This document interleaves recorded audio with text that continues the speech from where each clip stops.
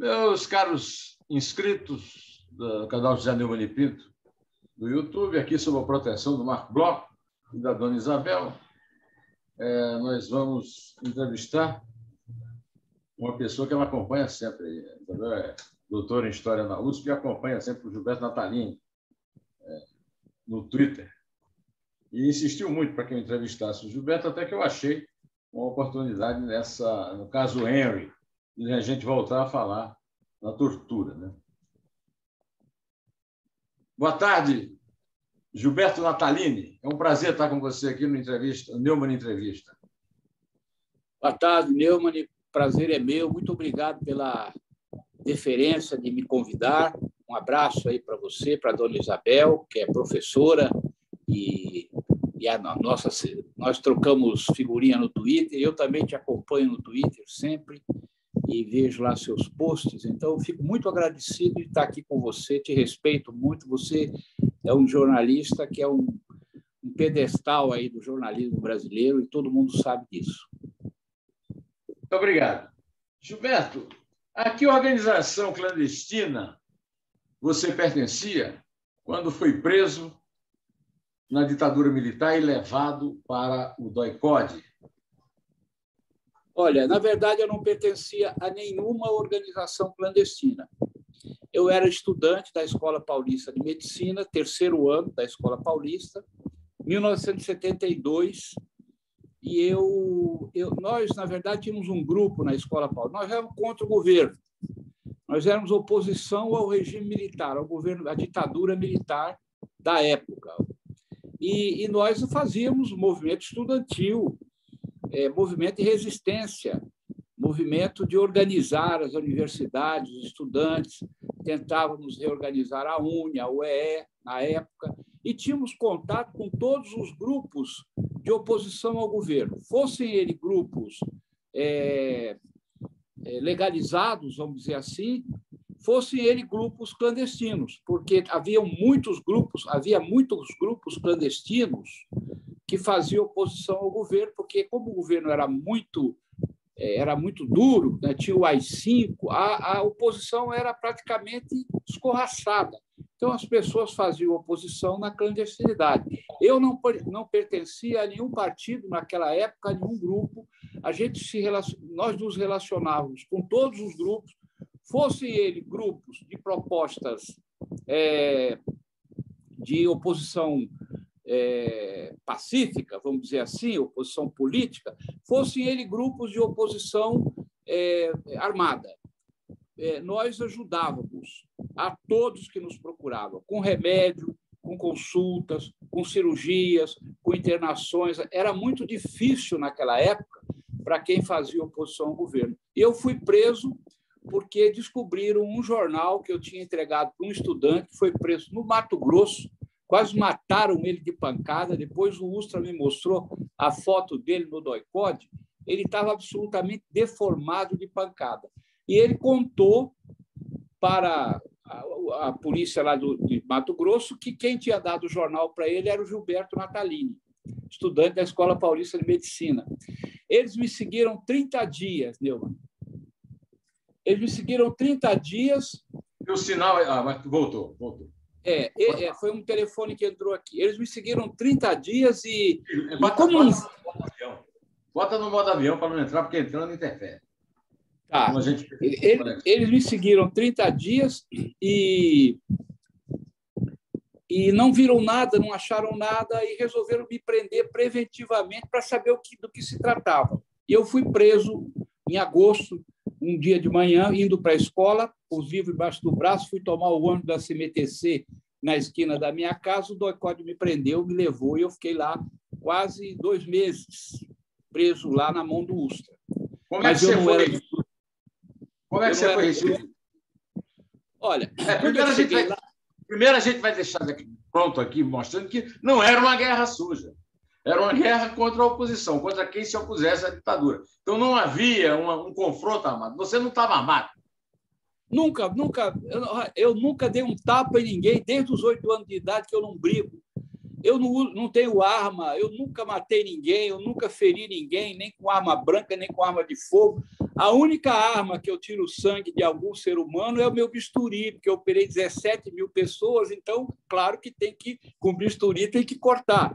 Mas eu não, eu não era da luta armada, nem era contra a luta armada. O, o regime ele não, não atacava só quem pegou em armas contra ele. Ele atacava padres, ele atacava intelectuais, ele atacava estudantes. Quem se opusesse ao governo militar na época pagava o preço. Se tivesse... E como é que você foi recebido lá no Doicode?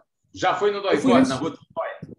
Na Rua Tutóia. Me levaram para lá, eram três peruas é, veraneios que me prenderam. Parecia que era um esquema que iam prender o Osama Bin Laden.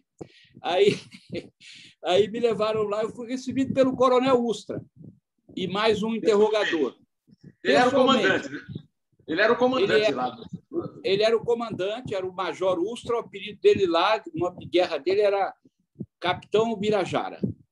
Desculpa, Doutor Ubirajara. Doutor Ubirajara. Era o... Hã? Não era Doutor Ubirajara, não? Não. Doutor Ubirajara. Doutor Tibiriçá, doutor Tibiriçá. Doutor Ubirajara era um outro era um outro torturador, desculpa, é doutor Tibiriçá, isso mesmo, você está com a memória melhor que a minha. Doutor Tibiriçá. Aí, o que, que aconteceu?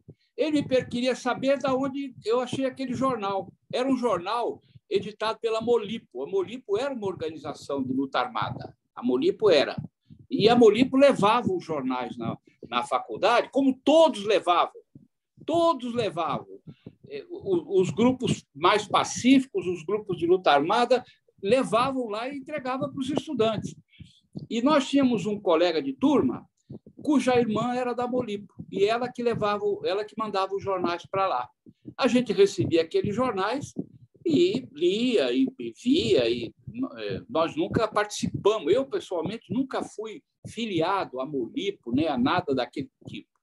Aí eu disse ao Ustra que aqueles jornais estavam é, nos, no banheiro da faculdade, realmente tinha muito jornal nos banheiros que eles deixavam em cima das, das mesas dos estudantes. E aí ele acreditou naquilo que eu falei. Na verdade, a gente recebeu o jornal daquela moça, mas eu não ia de forma nenhuma entregar ela para ele, porque eu sabia como era a situação. E aí ele, ele, eu falei: tem mais lá em casa, você pode ir lá buscar. Eu te entrego tudo que eu tenho lá, eu tenho lá, eu arquivo você vê, a minha, eu falei para ele, eu sou tão boa fé que eu nem. Bom, foi na minha casa, Neumann. Foram mais três peruas e eu no meio, lá daquele monte de gente, metralhadora e diabo. Minha avó tinha setenta e tantos anos, meu avô também. Entraram lá, eu fui lá no meu quarto, abri. Quando eu abri, não tinha nenhum jornal, nada, nada, nada, nada lá nas minhas coisas de estudo, que era o meu quartinho de estudo. Eu tinha um esqueleto que eu tinha ganho de um coveiro de Macaé, quando eu entrei na faculdade para estudar anatomia, e levaram. O esqueleto também sumiu. O que, que aconteceu? Um dia, dois dias antes, cinco estudantes, colegas meus, foram lá em casa. E eu, eu tinha eu tinha desaparecido. Foram lá em casa para ver o que tinha acontecido e falaram com a minha família: olha, é melhor, tem coisas aí, tal. Foram lá no meu quartinho e tiraram tudo aquilo, puseram num saco, levaram para casa de um tio. Aí, quando a polícia chegou, lá o DOI-COD chegou, que eu abri, que não tinha nada, eu falei para minha tia, cadê os jornais que tinham aqui, as coisas que tinham aqui? Ela falou, ah, seus colegas, fulano, fulano, fulano, fulano, fulano, tiveram aqui. A minha, a minha tia tinha 60 anos, coitada, não sabia nem o que estava acontecendo. Pegaram e levaram lá para casa do seu tio, tal, pronto. Ali já foi suficiente para eu começar a apanhar.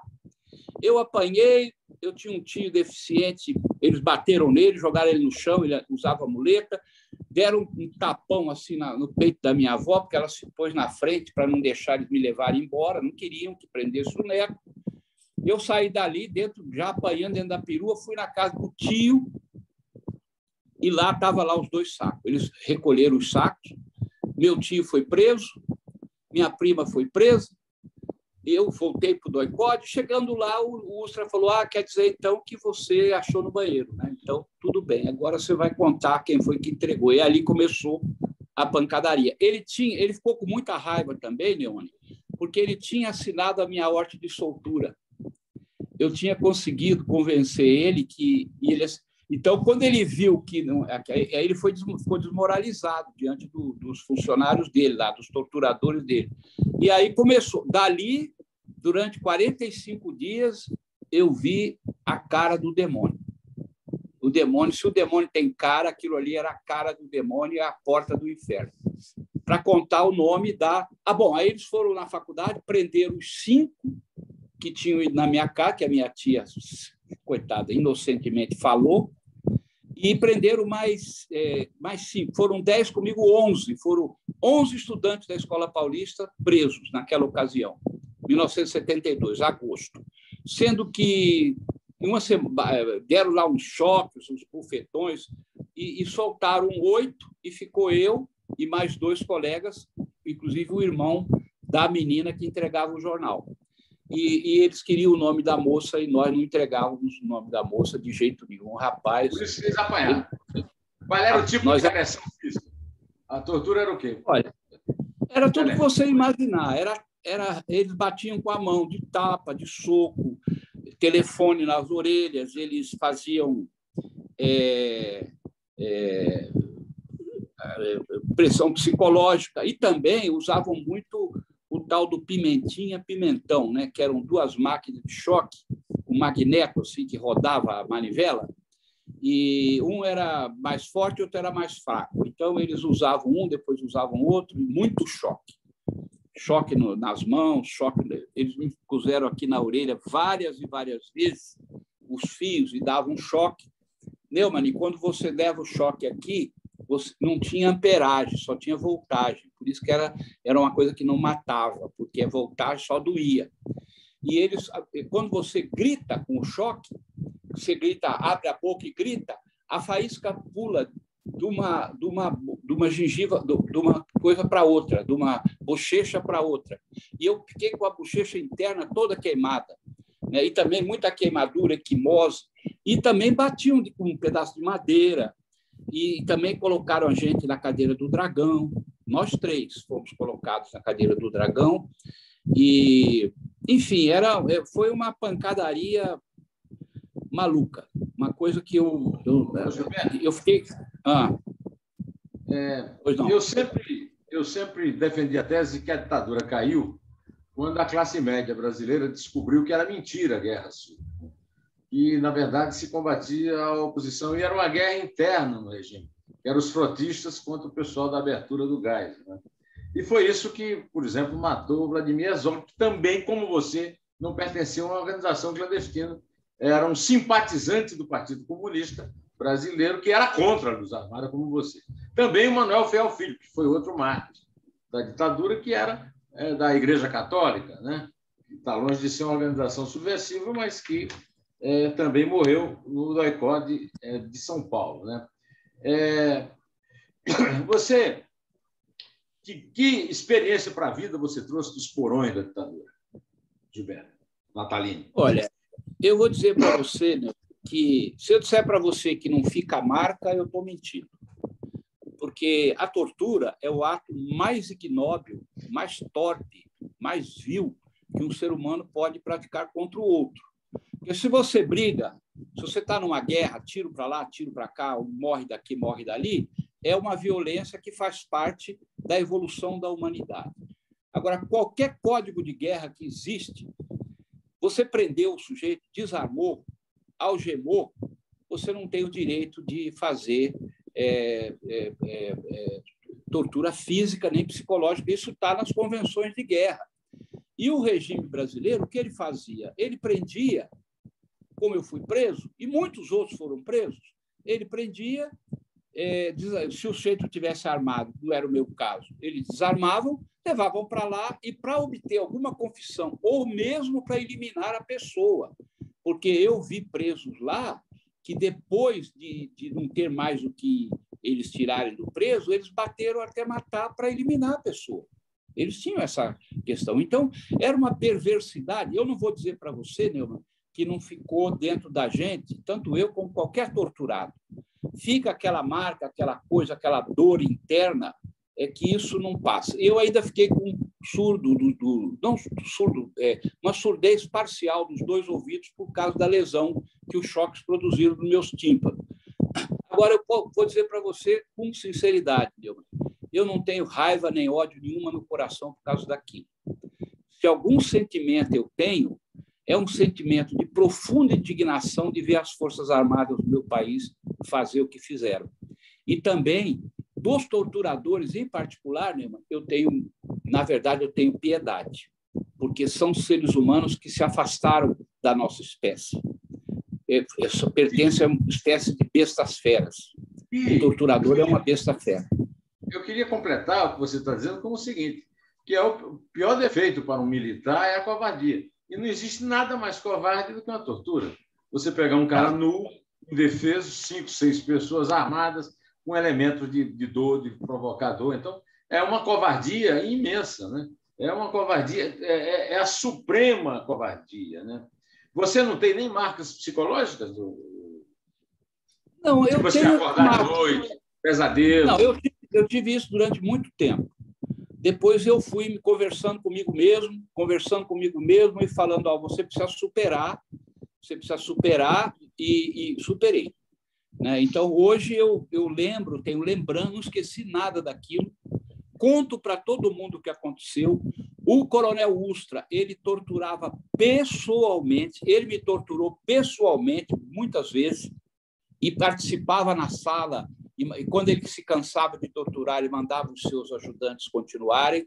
Ele, pessoalmente, ele não mandava fazer só, ele fazia. Então, ele era um degenerado como aquela turma que, dele que tinha lá. Ele, ele era um oficial do Exército Brasileiro e ele disse uma vez, na Comissão da Verdade, que eu estava lá, tive até um bate-boca forte com ele, ele disse que ele obedecia às ordens, e era verdade, Neumann. Uma vez eu vi lá num domingo, fardado, fardado com os galões de general, o general, aquele general gordinho que tinha aqui, Humberto Souza Melo, é isso o nome dele? É, Humberto Souza Melo, baixinho. Isso, estava visitando.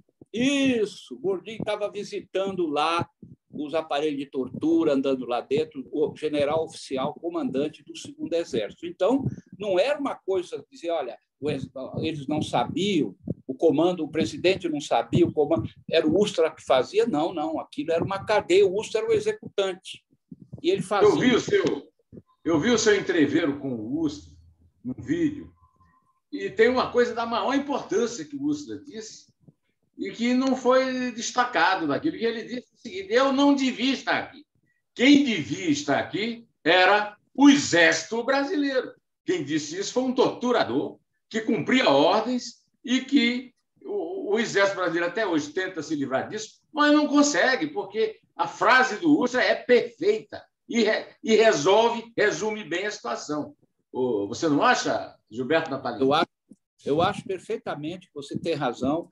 Eu diria para você que tinha uma parte da oficialidade que talvez não concordasse com isso, mas eles não abriram a boca, foram coniventes e, e, uma grande parte dos generais, dos almirantes e dos brigadeiros, dos seus comandados, sabiam disso, participavam disso. É, isso era financiado pela, pela sociedade civil, pelo empresariado. O Paulo Egídio Martins, levei ele na Comissão da Verdade da Câmara Municipal de São Paulo, que eu presidi, e eu perguntei para ele a primeira pergunta. Ele foi governador, você sabe, é, é, governador, quem foi que, qual foi o empresário que financiou, deu dinheiro para sustentar o doicote? Ele olhou para mim e falou assim: é melhor você me perguntar qual foi o que não deu dinheiro, que a quantidade de empresários que dava dinheiro para aquilo era enorme. Então, houve também uma conivência da sociedade civil, do empresariado brasileiro, né, que ajudou a financiar aquilo. Aquilo era aquilo é uma vergonha para o país, uma vergonha para o país. O Brasil é manchado com aquele doi-code, aquele DOPS. O Paulo Egídio Martins foi escolhido pelo Ernesto Geisel para ser o primeiro presidente civil depois do golpe de 64 e fracassou é, porque ah, a, as forças internas dentro do exército não permitiram isso e foi forjado o episódio de Herzog para desmoralizar o Paulo Egídio. Eu frequentava o Palácio dos Bandeirantes é, quase diariamente conversando com o Paulo Egídio. Recentemente, o Paulo Egídio morreu e guardo boas memórias desse tempo. E o Paulo Egídio, é, e, e, e, nesse episódio do Exog, foi sacrificado também um grande brasileiro, que era o secretário de Cultura que nomeou o Exog, que era o empresário José Mindre. Quer dizer, havia os empresários do bem e os empresários do mal. De qualquer maneira, é, eu me lembro que quando a ditadura acabou, saiu um livro, é, se eu não me engano, da, do seu amigo Paulo Evaristo Arda, do pessoal da, da, da Arquidiocese, chamado Tortura Nunca Mais. Tortura Nunca Mais mesmo? Não há mais tortura no Brasil, Gilberto Natalino? Não, a tortura sim, a tortura existe aqui. É, na verdade, ela sempre existiu no Brasil, eu acho, né? mas é, é diferente do que houve no DOICOD, no DOPS, porque ali era uma tortura institucionalizada e ela era metódica, metódica e era uma coisa de conveio político. A tortura existe nas delegacias brasileiras. Diminuiu a delegacia bastante. de polícia é rotina, tortura. É, diminuiu diminuiu consideravelmente do que era há, algum tempo atrás. Mas existe a tortura nas delegacias de polícia, existe a tortura da, na, da polícia militar com presos e com, com, pessoas que são presas e que são levadas nas viaturas. Eles, às vezes, torturam até matar, sufocam os presos. Isso existe ainda, esse resquício daquela época persiste. Agora, preso, é, a tortura política propriamente dita, hoje eu acho que a democracia conseguiu superar, eu acho, né?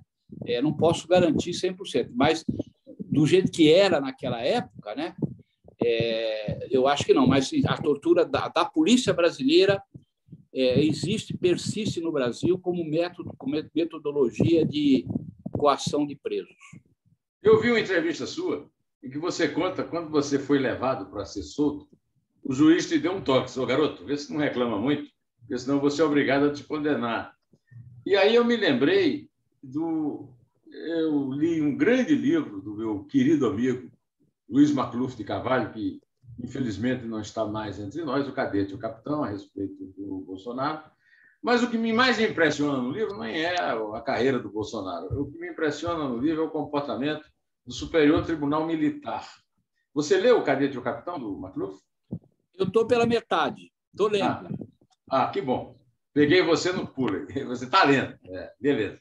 Olha, é, eu conversava muito com o Macluf e ele me contou que se surpreendeu muito com o fato de que a sessão do Superior Tribunal Militar, em que o Bolsonaro foi absolvido, depois de, por 8 a 4, depois de ter sido condenado por 3 a 0 à cadeia por terrorismo e indisciplina, porque planejou um atentado à bomba em quartéis e na, na doutora do Rio Guandu. Não foi um julgamento do Bolsonaro, mas de uma jornalista chamada Cássia Maria, que foi o contato dele com a revista Veja, quando ele publicou sobre o soldo, e daí começou toda essa.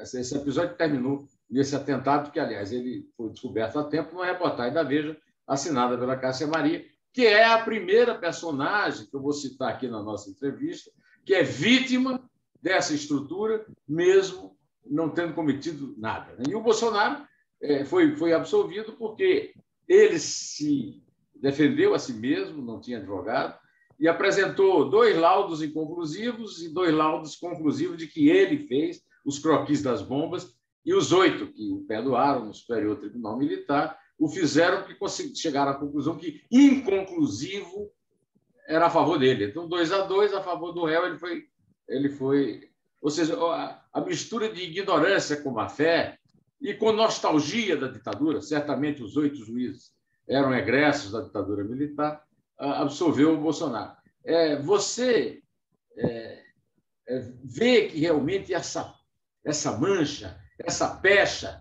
da participação do Exército Brasileiro né, nesse mundo de tortura, nesse, nesses porões, até hoje é, permanece impávido colosso, para usar a expressão do hino? Olha, eu vou dizer um negócio para você. Quando eu, eu presidi a Comissão da Verdade, eu fui a Vila, Vila Velha, no Espírito Santo, entrevistar o Guerra, aquele que foi agente do DOPS, que vinha a São Paulo só para matar. Ele vinha, atirava não sabia nem quem estava atirando. Como ele atirava muito bem, tomava o avião, voltava para o Espírito Santo. Ele hoje é pastor da Igreja Assembleia de Deus. E ele me contou que quando ele decidiu fazer o livro, Uma Guerra Suja, você deve ter visto esse livro. Sim. É, ele decidiu fazer o livro. Ele disse, Nataline, aí eu vi que a comunidade de informação existe, está intacta, está é, é, é atuando, é claro, absolutamente é, submersa, mas essa, aquela estrutura que existia não foi desfeita. E ele disse, e essa estrutura ela se baseia fundamentalmente dentro das Forças Armadas. Isso está no, no, nosso relatório, eu vou mandar a cópia para você, para você ver. Ou seja, ele disse que foi ameaçado de morte várias vezes, que ele achou que iam matá-lo, porque ele estava contando, contou do Perdigão, contou tudo. Ele foi contando, o livro conta. E na, na eu fiz uma entrevista com ele de cinco horas, gravada pela Comissão da Verdade, ele contou os detalhes. Ele contou os detalhes e disse que aquele pessoal, alguns deles que estão por aí, estão por aí. Os que não morreram estão por aí. Eles mantêm uma linha de, de articulação. Eu, eu, depois de muito tempo, agora no Twitter, quando eu ataco, quando eu ataco Ustra, eu ataco, assim, eu, eu condeno Ustra publicamente, chamo de, de, de, de, de assassino, de bandido, de torturador, eu tenho uma reação orquestrada, organizada no Twitter contra mim, que é uma coisa impressionante. Então, eu acho que o Guerra tem razão, tinha razão. Essa estrutura permanece submersa, não é pública. Agora, com o Bolsonaro, ela tem posto um pouco mais a cara para fora, e ela é composta por oficiais, por gente das Forças Armadas e também pela parte da Polícia Civil do Brasil, que mantém aquele, aquela irmandade que foi construída durante a ditadura e que da qual eu fui vítima e muitos outros brasileiros foram vítimas, inclusive perdendo a vida. Basta você ver a respeito dessa questão do Bolsonaro. E o Bolsonaro, quando votou pelo impeachment de Dilma, e agora ele não quer ser sofreu impeachment porque foi eleito pelo povo, mas a Dilma também foi. Eu não votei nela, mas ela foi eleita pelo povo. É, ele, ele fez um elogio público ao maior covarde da história do Brasil, que é exatamente o, o Major Coronel é, Brilhante Ustra. O vice-presidente, o general Hamilton Mourão, também faz louvações à tortura, à ditadura e ao Ustra. É, como é que, é, como é que a democracia tolera isso? Ex-vereador, militante, médico, Gilberto Natali. A democracia convive com isso no Brasil, infelizmente, porque a democracia brasileira ela veio no movimento. Você sabe disso. Você é um analista político dos, um dos mais brilhantes e muito um homem muito bem informado. Ela veio de um aconchambro lá do colégio eleitoral, ela veio é, com a, coisa, a candidatura do, do Tancredo e ela trouxe a redemocratização brasileira trouxe figuras que eram figuras absolutamente notórias na ditadura, figuras é, militares e civis que vieram junto. Então, o que aconteceu no Brasil, a redemocratização do Brasil foi pela metade. Foi pela metade. É diferente de você ver outros países da América Latina que passaram a limpo realmente.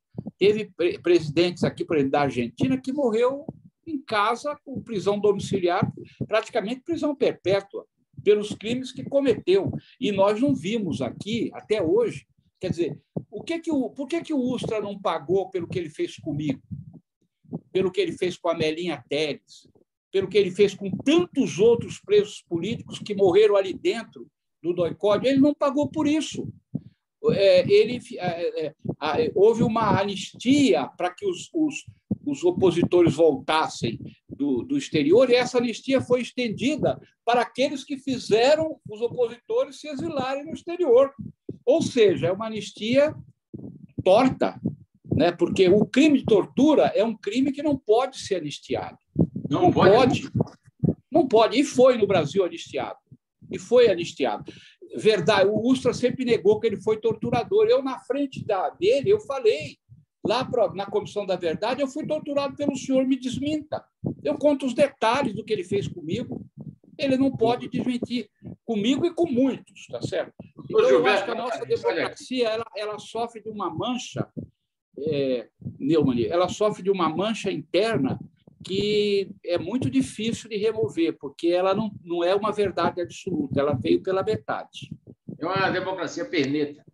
É, eu fui à Argentina como repórter e cobri o julgamento, o juízo do, do, do, trio de militares ditadores, que foram todos condenados e, e mantidos depois em, em cárcere privado. Né? É, no Brasil, isso não aconteceu.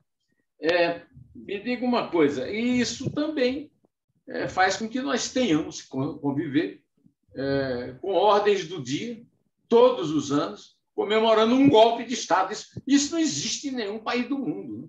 Comemorar um golpe de Estado. Ah, este ano mesmo trocaram o ministro da Defesa e ele soltou num dia uma ordem do dia golpista e no dia seguinte fez um discurso democrático. Eu acho que esses dois pronunciamentos do general Braga Neto são o exemplo é, perfeito da hipocrisia e, e da é, falta de é, coerência da nossa democracia. Muito embora eu acho que a democracia é um regime que tolera, inclusive, é, o desaforo. Mas uma coisa é tolerar o desaforo, outra coisa é comemorar um golpe. É ou não é? Tem toda a razão. É, infelizmente, as nossas forças armadas elas se fecharam nessa conduta né, e, e, se defendem dizendo que salvaram o Brasil do comunismo. Esse é a, o grande argumento deles. É como se João Goulart fosse comunista. Né? João Goulart não era comunista nem aqui nem em lugar nenhum. Né? Nunca foi comunista. João Goulart era um trabalhista, um, um populista de centro-esquerda que convivia com aquilo e que incomodou muito. Eu vi dia um documentário na Globo News sobre o golpe de 64, que eu, eu, eu, eu, eu aconselho todo mundo ver, conta como os Estados Unidos influíram aqui, Lyndon Johnson, toda aquela situação, aquela frota que eles iam mandar, conta com detalhes, com documentos que os próprios americanos liberaram. Os nossos generais, eles é, essa mancha na farda deles, na minha opinião, nunca mais sai. E agora, agora, Neumann, Isso. agora, se eles é, se eles entrarem em qualquer aventura, a mancha vai se transformar na própria farda. Na própria é. farda. Se eles entrarem numa aventura. A, a farda vai ser a mancha. Eu espero que o, as nossas Forças Armadas não caminhem para esse lado. Eu acho que não é, vão caminhar. O documentário que você refere é do Camilo Tavares, filho do grande escritor Flávio Tavares, é, autor de Memória do Esquecimento, um livro clássico, um grande jornalista que foi que foi trocado pelo, pelo, pelo embaixador americano Elbrick na, naquele sequestro. Mas, olha, é, vamos agora entrar no fato do dia. O caso Henri Borel. Henri Borel é um, é, é um caso exemplar da maldade, da crueldade, é, da hipocrisia, porque também tem a tortura privada, que aumentou violentamente no, no Brasil, a tortura doméstica nessa época de quarentena na pandemia. É, você, ao você acompanha, você está acompanhando esse caso, né? Tudo. O caso do garoto de quatro anos que Sim. foi brutalmente. É, a, a, primeira, a primeira impressão que eu tive do caso é de que o assassino, presumível assassino, está sendo investigado por isso pela Polícia do Rio, o vereador Jairo Júnior, que eu não chamo de doutor para não desmoralizar a medicina, nem de Jairinho, que eu não quero tratá-lo é, de forma carinhosa. Ele é, se divertia, né? ele, ele é, passava, é, parte, fazia parte do seu lazer a, a tortura de crianças indefesas, filhas das mulheres com as quais ele se relacionava e às quais ele dava boa vida. Pode a morte pode do, do garoto pode ter sido um erro de cálculo, embora é, um cálculo que ele deveria ter aprendido a, a fazer, porque ele estudou, ele, ele é médico. Como, como, quando você, como você tomou conhecimento desse caso e, o, e em que você identifica o, o Jairo Júnior, um brilhante Ustra?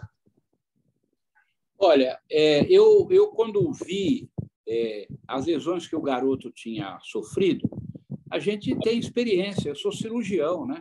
Eu conheço o fígado, eu conheço como é que se lesam. Para você romper um fígado, ou é uma arma branca, ou uma arma de fogo, ou então uma pancada muito violenta, que o fígado ele é flexível, ele é pendurado, ele se mexe, ele não é rígido. É uma esponja. Então eu falei, foi espancamento. Na hora, eu falei para minha mulher: pode, pode escrever, isso aí não caiu de lugar nenhum, é espancamento. Foi espancado, morreu espancado. Eu não sabia se foi a mãe ou se foi o pai, porque eu não conhecia. Depois eu fui ver a história do, do Jairo, do vereador lá. Eu vi, o vereador é filho de um miliciano, de um coronel da PM que comanda a milícia numa região do Rio. A favela do Batano, é, Realengo. O Realengo, então, é o pai dele foi deputado, é ligado aos milicianos. Aliás, o Rio está tomado por isso, né? O Rio está tomado pelas milícias e o São Paulo está tomado pelo PCC. O PCC está em todas as estruturas de São Paulo. Você não pensa que não está também na, no parlamento, nos órgãos judiciais, no executivo? Está sim. É que o PCC é mais, um pouquinho mais civilizado e inteligente menos estriônico do que as milícias. Então, o, o, o Jairo, ele é um, ele é um filho do, do, daquele sistema. Eu li o livro do teu colega jornalista, até meu amigo, que as, sobre as milícias, né? As milícias é até a era do Bolsonaro. Você conhece o, o livro do Paz Manso, né? Paz Manso, é. Ele escreveu dois livros. Escreveu um sobre o PCC e outro sobre as milícias. Eu li aquele livro das milícias e eu vi qual é a metodologia. Quer dizer, a metodologia das milícias pra, é, é a intimidação, a morte e a tortura. E o Jairo ele é um subcomandante, vamos dizer assim, né, de ordens das milícias do Rio, que foi para a Câmara Municipal. E ele, eu acho que, além disso, ele é um cara que tem um desvio mental muito grave, porque fazer da tortura um meio de vida, vamos dizer assim, né, um meio de diversão, é, é uma psicopatia já bastante, é, bastante é, acentuada. Aqui no Doicode, Neumann, tinha um capitão que, quando batia nas meninas, em particular nas meninas nuas, penduradas no pau de arara, ele tinha, ele chegava ao orgasmo. Então você vê a psicopatia, o nível da psicopatia. Ele tinha prazer sexual em torturar. E, e, esse Jairinho provavelmente tem um desvio nesse nível, entendeu? É um cara muito perigoso. É, e tem uma atração grande pela questão das crianças, quer dizer, além de tudo, tem a, a questão da pedofilia. E é também é, uma covardia maior, porque a criança é muito mais frágil e tem claro. muito menos capacidade de se defender. Claro, você vê que o muito mais covarde. Mas muito, é uma covardia que não tem qualificação. E ele quando a criança ia pra, saía do pai para ir para ele, a criança vomitava, quer dizer, a rejeição que a criança tinha ao que ele fazia, devia ter feito já muitas vezes, era brutal. Ou seja, é um, uma, uma barbaridade. E aquilo que você falou, né? Esse problema da tortura dentro de casa, do espancamento, da, da, da violência doméstica contra as mulheres, contra as crianças, né? É, isso misturado com a questão da, da, do desvio sexual, da pedofilia e de outras coisas, isso cresceu muito no Brasil, muito, muito, assustadoramente cresceu no Brasil. Há espaço para que isso crescesse no Brasil nos últimos anos, e, e o garotinho, o menino Henry, foi vítima desse fascínora, que não é só um desviado psicológico. Além disso, ele tem relações com uma estrutura política e, e criminosa que, que, são as milícias do Rio de Janeiro. Infelizmente, né, eu vi a foto do filho do presidente abraçado com o pai dele, elogiando, e o, e o menino pedindo voto para o presidente, o assassino pedindo voto para o presidente. Ou seja, existe ali uma promiscuidade entre o poder que está em Brasília hoje, da presidência da República, daquela família que ganhou o presidente, com essa, essa prática criminosa no Rio de Janeiro. A gente não, eu não consigo saber até onde, mas eu acho que vai muito longe vai essa muito relação. Longe.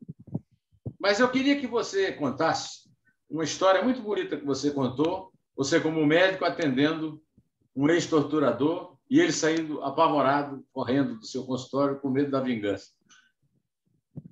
É, isso aconteceu mesmo, viu, de verdade. Eu não lembro o nome dele, porque eu não lembro, porque eram, eram muitos, eu não lembro o nome dele, mas ele foi um dos que mais me bateu lá. eu, eu, me recordo dele porque ele disse, ele disse que tinha uma bala alojada na coluna. Ele levou uma bala, ele era. Ele era, era Paraplégico. É. Não, não era paramédico, é, foi uma bala numa troca de tiro. Ah, tá. E ele, e eu me lembrei dele por causa disso, da cara dele, por causa dessa coisa da bala na coluna, que ele dizia que tinha. Aí, eu, em 1976, eu era residente do Hospital do Servidor, e no estágio de ortopedia estava eu sentado na mesinha ali. Você conhece o Hospital do Servidor Público Estadual, ali no, no Ibirapuera, e aquela Sim. porta do pronto-socorro. Aqui eu estava ali. E aí chegou esse sujeito com a, com a muleta, mancando, com o pé quebrado, quebrou os ossos do pé. Eu pedi a chapa, aí eu olhei para a cara dele e falei, rapaz, estou reconhecendo esse sujeito. Aí puxei na memória e falei, não, não é possível. É o, o desgraçado que me bateu no doicode. Mas fiquei quieto, Neumann. Botei ele na mesa, com a chapa, olhei, fratura, vamos reduzir. Peguei uma agulha mais fininha que tinha, botei 20 cc de, de me fiz anestesia local, anestesiei tudo, puxei a fratura, coloquei a tala, fui ajudado lá pelo gesseiro, né, que a gente chama, botei a tala, amarrei, falei, pô, vamos lá, vamos passar a receita. Quando ele sentou, eu falei assim, você não está me conhecendo? Ele disse, não. Eu falei, pois eu te reconheci imediatamente, rapaz. Eu sou Gilberto Natalini. Tive preso no doicode, passei pela sua mão, você me bateu lá igual como se eu fosse um pedaço de, de um, um, saco de, de pano. E ele, ele fez assim, eu falei, rapaz, você me bateu muito, me torturou. E hoje eu quis mostrar para você como que a gente trata o sujeito que, que torturou a gente. Como que o ser humano tem que tratar o outro eu fiz hoje aqui só para te mostrar como é que a gente. Ele não sentiu dor nenhuma, né? Porque eu fiz tudo muito, com muito capricho, como a gente sempre faz. Rapaz, esse homem levantou da cadeira, né? eu estava fazendo a receita, largou a muleta, largou a receita, saiu pulando num pé só, aquele corredor enorme que o Hospital do Servidor sumiu da minha vista, nunca mais eu vi. Mas a, nessa ocasião, nessa ocasião você disse que tinha até pena dos seus torturadores, principalmente do Ustra. Você tem pena de Jairo Júnior? Olha, é, não é, não é pena, não, não é assim, não é compaixão do, do, do, ato dele, né? Mas eu, eu acho que o ser humano, eu, eu sou médico, rapaz, eu já atendi mais de 120 mil pessoas. Você é jornalista, deve ter conversado. O ser humano, ele é um com a luz acesa e outro com a luz apagada. Se você estiver numa sala com a luz acesa, aquele grupo de pessoas, é, se você apagar a luz, alguns deles viram zumbis. Então, nós humanos temos um lado esquisito dentro da nossa alma e há pessoas que desenvolvem esse lado mais do que outros. E eu, sinceramente, olha, eu não sou religioso, eu não sou um cara, eu não sou um beato, mas eu acho que Cristo falou uma coisa, entendeu? É, que se a gente for ter raiva de todo mundo que faz coisa errada, você vive com ódio do mundo eu prefiro não ter ódio do mundo, eu prefiro passar nessa vida. Ódio é um sentimento que destrói a gente. Eu não vou dizer para você que eu respeito, que eu. Eh, que, que, não é isso, eu quero que ele vá pagar pelo que ele fez, mas eu não consigo. Por exemplo, se vier para minha mão, eu não consigo dizer, ó, elimina esse cara. Eu não, nem consigo fazer com ele o que ele fez com o garoto. Não tenho essa natureza, entende? Então, não tenho ódio, não. Né? Olha Também aqui. não tenho amor, viu, Neumann, por, por nenhum desses safados, entendeu? É um sentimento muito assim, mas o ser humano é isso, viu? O ser humano tem um esse, lado dentro dele. Esse caso ressuscitou outro caso. Em agosto de 2011, a revista Piauí publicou um depoimento de um fotógrafo chamado Newton Plautino, que foi barbaramente torturado ao lado de uma repórter e de um motorista do jornal O Dia, na favela do Batã, ah, por incrível que pareça, eles tiveram a vida salva por alguém que você lendo identifica como Coronel Jair, que é tratado como 01, assim como o Flávio Bolsonaro é tratado pelo Jair Bolsonaro. Né? O coronel, que ele era coronel da PM antes de ser deputado. E que eles foram barbaramente assassinados porque foram flagrados, pela, foram delatados por um colega de redação e flagrados pela milícia eh, se metendo para divulgar e vendo coisas gravíssimas, como, por exemplo, fardas de polícias militares no, na tortura e a participação de um vereador. Eles não dizem qual é o vereador, mas favela do Batã, é óbvio, eles não dizem porque a vida desse pessoal está assim. a menina, a repórter e o motorista sumiram. O fotógrafo separou da mulher e dos dois filhos, vive num lugar incerto e não sabido, com outro nome. Quer dizer, não, é, aos, ao longo dos 11 anos da publicação, o fato é de 2008, né? ou seja, três anos antes da publicação, ninguém, nenhuma autoridade tomou nenhuma providência, nenhum órgão de defesa dos direitos humanos fez nenhuma denúncia. E, e as vítimas é que as vítimas é que estão pagando e esse rapaz já podia estar preso antes para evitar o tipo de violência que ele cometeu com as crianças, é, filhas das mulheres que ele seduz. Você acompanhou? Você chegou a ler esse texto da Piauí? É, isso não sai, minha história não sai, eu, minha dúvida não sai do jornal. Eu vi isso aí, sim, eu vi. E isso reporta para a gente, Neumani, o quanto a nossa sociedade está apodrecida. É? O Rio de Janeiro é a ponta de lança desse apodrecimento. Nós vivemos hoje um Estado bandido, um país bandido. Aqui em São Paulo também. Se você vê a devastação que está sendo feita nas matas dos mananciais, eu denunciei essa devastação, está aqui o, o dossiê, ó. Foi ameaçado de morte 14 vezes por causa desse dossiê, pelo PCC. E o PCC, o governador e o prefeito inertes, e o PCC dando ordem. Se eles venderem todos os lotes, vão adquirir, vão ter 2 bilhões de reais de lucro na venda dos lotes na cabeceira dos mananciais da, da, de água de São Paulo. Nós estamos vivendo um estado bandido. O Rio é ponta de lança. A milícia tomou conta de grande parte do Rio de Janeiro. Quando não é a milícia, é o, é o tráfico de drogas, que, inclusive, eles disputam entre si. E os poderes, polícia, legislativo, judiciário, executivo, estão contaminados é, por essa, esse tipo de prática. Então, nós estamos eu não sei como é que a gente sai dessa, meu. Sinceramente, eu, eu não, não. Talvez você tenha alguma luz no túnel, porque você é mais experiente do que nós, mas é uma situação, e é, é, no, é no Brasil todo. Minha família mora em Macaé, a cidade de Macaé tomada por esse tipo de coisa, é uma cidade de médio porte, tem 200 e poucos mil habitantes. Se você for aqui para as cidades médias todas, então, é, nós estamos vivendo uma situação. A participação das autoridades no lucro do crime organizado é brutal, rapaz. É muito dinheiro jogado na mão dessa gente. É uma situação. E o, e o Jairo Filho, como você disse, o Jairo Júnior, ele é um expoente desse tipo de coisa, o pai dele outro. Então, ele deve ter mesmo participado lá da, da, da morte do jornalista, da tortura, provavelmente sim, porque ele é um bandido.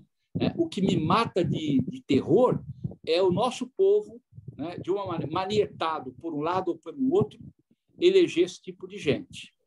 Elege, reelege, reelege é. várias vezes. Isso aí, olha aqui. É, eu tô, escrevi essa semana um artigo no Jornal do Estado de São Paulo, em que eu cito a banalidade do mal da Hannah Arendt, no livro Eichmann em Jerusalém.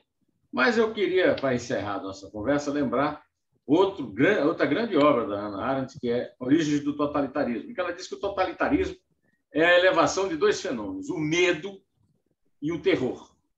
A fusão desses dois elementos em sua potencialidade leva a um sistema extremamente burocrático, em que o Estado total transforma a coletividade num único corpo.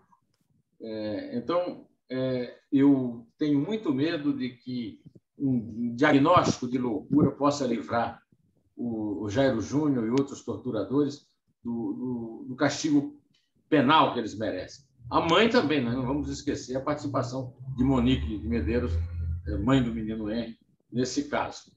Então, eu gostaria, mas eu gostaria de terminar a nossa entrevista com um dado positivo. Pela primeira, eu, eu não sei, você é carioca, você nasceu no Rio. Né? Nasci na Penha, fui batizado na igrejinha da Penha, lá em cima. Lá em cima. Subiu muito. Você ainda hoje sobe lá aquela escadaria? É um bom teste. Meu, o, o, meu, o meu padrinho era, era deficiente e ele requisitou o bondinho do padre porque ele não conseguia subir as escadas e ele, ele era meio revolucionário, ele brigou com o padre, o padre cedeu o bondinho, eu subi no bondinho, no colo do meu padrinho. pois é. Então, eu queria puxar, destacar no fim da nossa entrevista uma coisa positiva. Né? É, só se fala em impunidade no Brasil, mas esse caso do Jairo Júnior, não sei se ele abusou.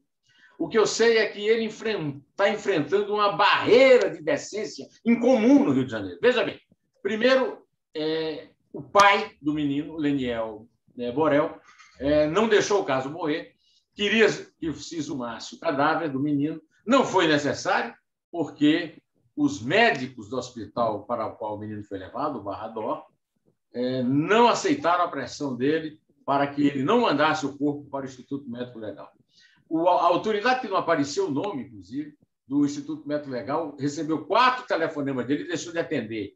Há mais outros que ele não quis atender, para negar a possibilidade do menino não passar por um, uma necropsia. O menino passou pela necropsia, constataram os peritos 23 lesões, essas que você, inclusive, descreveu como médico, e, e também encontrou um delegado ponta firme, né? Henrique, quase charado menino, dão assento da 16ª Delegacia de Polícia, tanto que a, a, os advogados queriam é, é, transferir o caso para a Delegacia de Homicídios, o que não sei se seria bom também para o Jairo Júnior e para a Monique de Medeiros, não. Eu não sei se eles vão ficar impunes ou não. Eu não sei se isso aqui foi apenas um espasmo, mas me surpreendeu muito é, saber que ainda há decência na sua terra, naquela linda cidade. Eu sou Flamengo, sou super campeão, adoro o Rio de Janeiro, morei lá, sou mangueira. Então, eu fico feliz de descobrir que há um rasgo, uma réstia de decência no Rio de Janeiro. Quem sabe isso não ilumine o Brasil. O que, é que você acha? Eu acho que você tem toda a razão. Só, só precisamos também ressaltar o papel da imprensa, que pegou pesado nesse caso, né? O tá pai. Tá pegando, né? Está pegando. Pai, Pegou, tá pegando. O, o, delegado né? e, a, e a imprensa ajudou muito a, a trazer a opinião pública. Né? E o, e o promotor Marcos Cac, vamos citar, o delegado e o promotor Marcos Cac e a imprensa. Eu tenho visto nas emissoras de televisão e nos jornais uma cobertura da qual eu me orgulho, como se eu estivesse fazendo parte dela. É, eu, eu acho, então, para arrematar aqui em um minuto, eu acho que a gente não deve desistir do nosso país. É aqui que a gente nasceu, é aqui que a gente viveu, cada um nasceu num lado, eu nasci no Rio, você nasceu em outro estado, o outro nasceu... Iraúna, o Iraúna, Paraíba, terra da sua amiga Luiz Erundina. Paraíba, a, a minha, a minha amiga... Luiz Erundina. A Erundina é uma das mulheres mais dignas que eu já conheci na política.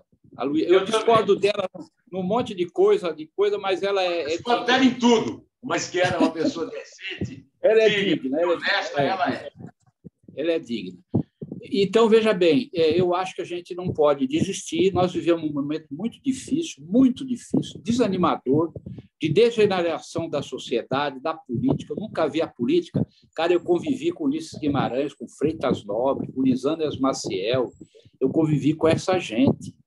Né? Pelo amor de Deus, o que nós temos na política hoje, quanto pior, mais o cara sobe. Mas é, eu acho que é uma fase da nossa história e nós temos que trabalhar, meu maninho, como você trabalha dia e noite, eu vejo você trabalhando e você faz a sua parte muito bem feita, com precisão.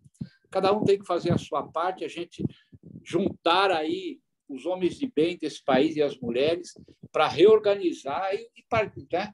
Tudo que nós já fizemos para ganhar a democracia, para ter eleição de presidente e tal, infelizmente foi, foi afundado, tá certo? Por uma coisa ou por outra, participação do PT, que vendeu o céu e entregou o purgatório infernizado para o Brasil. Agora, depois veio essa direita tacanha, horrorosa, atrasada. Eu conheci homens de direita extremamente inteligentes e civilizados.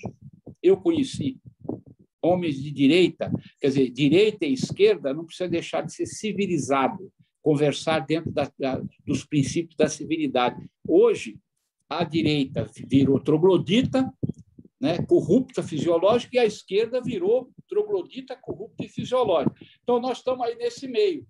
Nós temos que construir um caminho de centro né, que defenda a democracia, a sustentabilidade, que defenda a maior equidade social e que defenda a moralidade pública não vai, não está sendo fácil, mas é o nosso, é o nosso desafio, né?